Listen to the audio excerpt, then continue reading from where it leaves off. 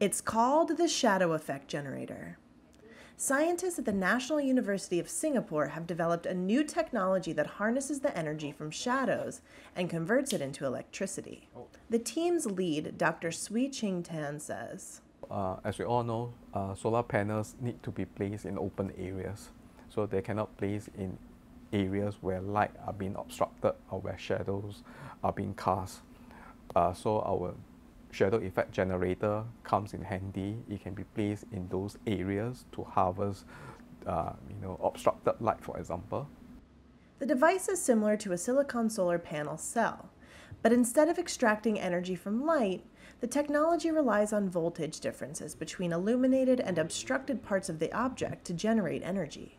The voltage difference between the illuminated part and the shadow region create a voltage difference and therefore driving the electrons from the bright side to the dark side and therefore creating electricity. The device is small, currently confined to a size of 6 square centimeters. It can produce around 0.25 volts. So around 20 of the panels could produce 5 volts, enough to power a light bulb or charge a mobile phone. But the team already envisions other uses. So our shadow effect energy generator can also be used as a motion detector. So as the car passes over the first piece, the blue LED light will light up. And if the car passes over the second piece, the green LED light will light up. In order to work, the device needs to be partially covered in shadow.